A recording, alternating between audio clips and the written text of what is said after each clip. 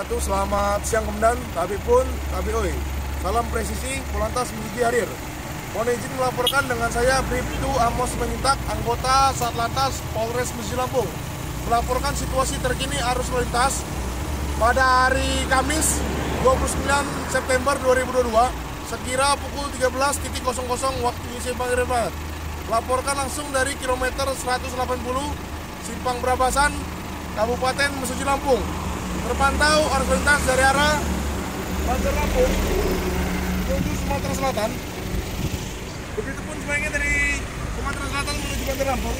Terpantau arus lintas normal, lancar, nil kemacetan 33L maupun 33 lainnya. Kami mengimbau kepada setiap pengendara agar tetap berhati-hati dan waspada. Utamakan keselamatan Anda sebagai kebutuhan.